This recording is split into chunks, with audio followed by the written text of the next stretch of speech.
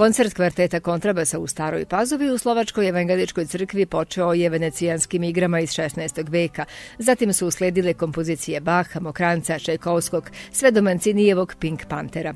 Uz Ljubinka Lazića iz Vojke u sastavu kvarteta četiri i po kontrabasa bili su i Jošt Lampret iz Ljubljane, Zoran Marković, profesor na glazbenoj akademiji u Ljubljani i Slobodan Gerić, redovni profesor na Akademiji muzičkih umetnosti u Beogradu. Prvi put sam u Vojvodini, prvi put sam u ovoj predivnoj crkvi.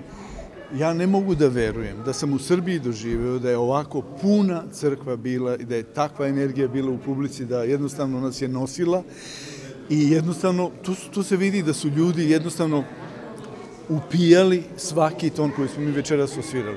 Uvek ima puno publike, zahvalne publike koja zna da, da, da ceni i da, i da osluša ovaj, ono, ono što mi ponudimo, tako da je svakako zadovoljstvo. Zadovoljstvo je i da smo otvorili eto, 30. jubilarnu Basomaniju festival kontrabasista koji organizuje Fakultet muzičke umetnosti u Beogradu, evo večeras ovde. Čarobno i nesvakidašnje veče slažu se umetnici kao i više od stotinu posetilaca, među kojima nisu bili samo staropazovčani, već i gosti iz susednih mesta, takođe Batajnice, Zemuna, Novog Sada, Zrenjanina. Došao sam iz Batajnice super. Divni su nam utisci, pratimo Ljubinka redovno i baš nam je drago što se ovako nešto dešava ovde u Stare Pazovi. Dolazimo iz Batajnice i čuli smo našeg dragog prijatelja Miše za, za ovaj koncert, uduševljeni smo. Ovo je predivno. Igor Felde, sveštenik, je izrazio zadovoljstvo događajem koji doprinosi harmoniji dolazećih praznika, te pozvao novinarku Anđelku Mali da upali dve sveće na adventnom vencu, pošto je koncert održan u okviru perioda adventa i bio je humanitarnog karaktera.